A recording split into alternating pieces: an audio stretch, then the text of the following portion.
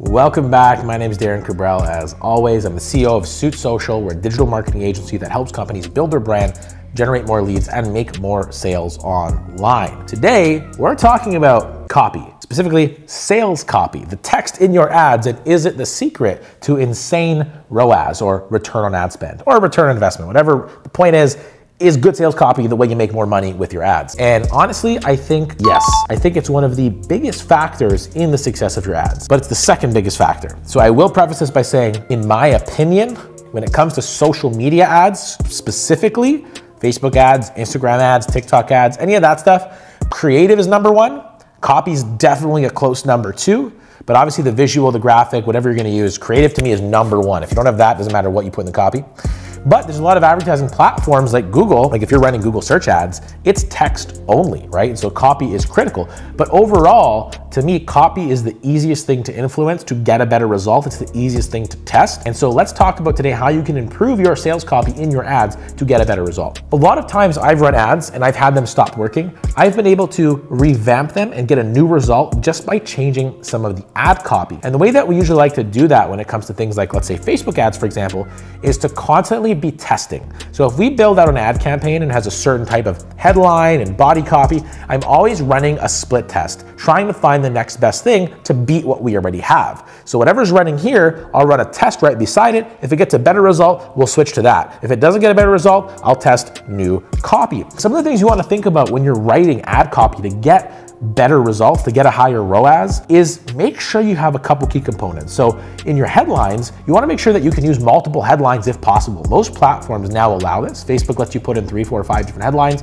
Make use of that. Don't just put one headline and wait. Try different things, and Facebook will help you determine which headlines are resonating best with your customer, with your audience. Use things also that hook your customers in. Don't just do basic, boring, descriptive headlines and descriptive, um, I know it's in the name, descriptions. Make things pop. Think about your customers' pain points. Think about a thing that's gonna shock them and kind of stop them um, I used to call them scroll stoppers. Like when I'm scrolling my feed, I'm like, whoa, what's that? Like think of it from that perspective. If you're a plumbing company, don't just say like, you know, your local trusted plumbing company, inquire now. Like that's not hooking anybody. Like put something in there that's gonna grab their attention. And part of that is knowing your customer, knowing their problems, knowing what they're thinking about, and crafting copy that's actually gonna fit that and solve those problems. The other thing is when you're actually writing the body copy, like the text in your ad itself, test short and long copy because I've oftentimes found that it makes a big difference and it's never the same answer. Some people say, oh, always use long copy. Some people say, always use short.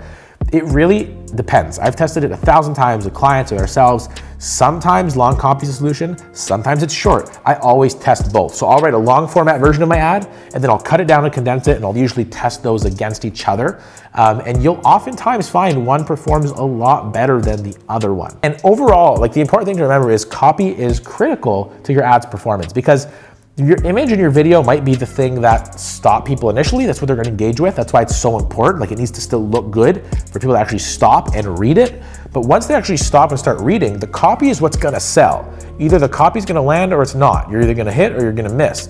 And so that's why it's so important to have that copy that's really gonna resonate, that is interesting, that is relevant to your customer's problems. But one of the biggest things you can do in your copy, and this is the biggest mistake I see companies make, and the thing they miss, is when you're actually writing out, so you know, we talk about headlines and all that, but when you write the actual body copy, like the long format text underneath your ad, make the above the fold portion the most important part. Make sure that if they just read the portion above the fold, they're gonna get the core of your message. And when I say above the fold, if you've seen a Facebook ad many times, like Instagram ad, whatever, you'll see if it's long copy, you have to click like learn more or keep reading to open the full thing up.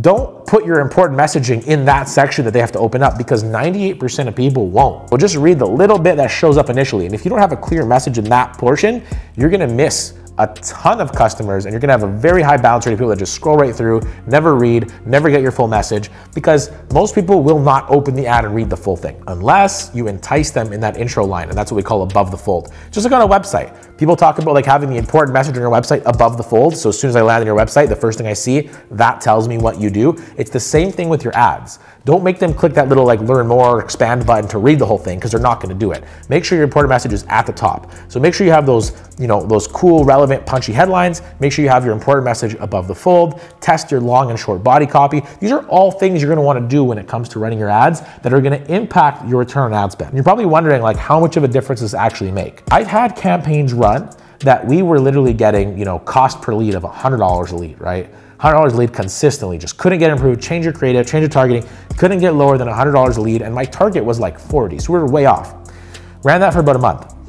I started to mess with copy, and I made one change to the headline. I put one extra word, and I think it was mentioning a guarantee, a 90 day guarantee. And that was in the body copy, but it's the bottom, nobody ever read it. I put in the headline, and we got our cost lead down to almost $20 a lead. That's like $80 cheaper because I changed one word in the headline. The creative was the same, everything else was the same. So it has a big impact and it's the easiest thing to change because if you put out a video in your ad and it's not working, it's a little harder to go shoot the whole video ad again. It's very easy to go in and just test headlines, test body copy. And so that's why I think it's one of the most important parts of managing your ROAS and getting a good ROAS from your advertising. So an important part of getting a proper return on investment from your ads is your ad copy, and it's something that we focus on a lot here. So hopefully that helps you improve your ad copy, get a better return on your investment from your ads, and you can implement some of those strategies in your own advertising. And of course, if you need help, as always, check us out at www.suitssocial.com. We'd be happy to learn more about your business and see maybe how we can help improve some of your advertising, get you a better ROI, and build it a more profitable system for you and your company. But thanks for watching. I'll see you next time.